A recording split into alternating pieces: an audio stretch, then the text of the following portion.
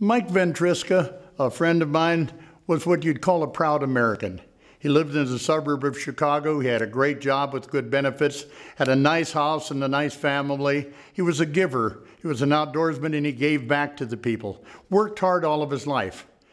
A few years back, he wound up what he thought well, uh, he wasn't feeling well at least and didn't know for sure what it was and went into the doctor the doctor misdiagnosed him and said he had the flu and gave him antibiotics for that and told him to come back in two weeks if it didn't get better.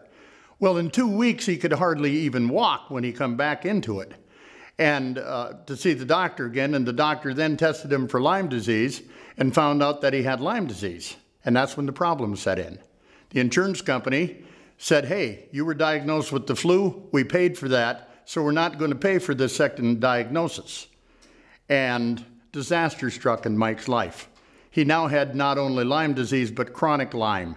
And I mean, it was taking his body, it was taking his everything else. He lost his job, he lost his, uh, all of his benefits, he lost his home.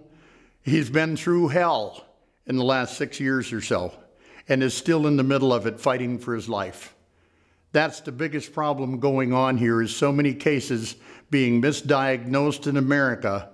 Um, and when the tick illnesses go on for a while and they become chronic, you have a problem that often will last for the rest of your life.